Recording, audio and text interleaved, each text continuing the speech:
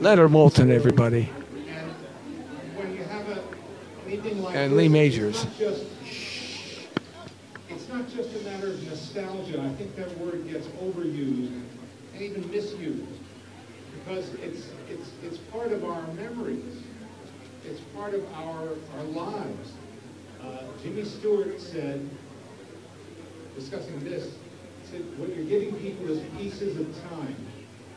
And those pieces of time add up to a lifetime.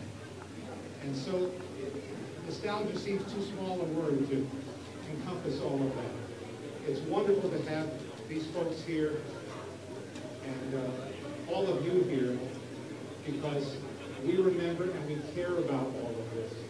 And we're never going to forget these moments they gave us. Thank you for having me here.